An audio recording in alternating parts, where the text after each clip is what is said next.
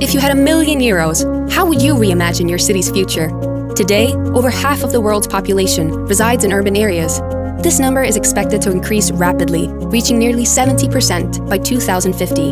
At FinEst Centre for Smart Cities, our goal is clear to ensure that as cities grow and evolve, they remain resilient, sustainable, and centered on the well being of their residents. To achieve it, we invite cities, urban innovators, and visionaries to join the Smart City Challenge Together, let's find novel solutions to address complex urban challenges for urban mobility, comprehensive planning, waste and energy management, and the enhancement of people's well being. Visit finestcentre.eu and contact us today.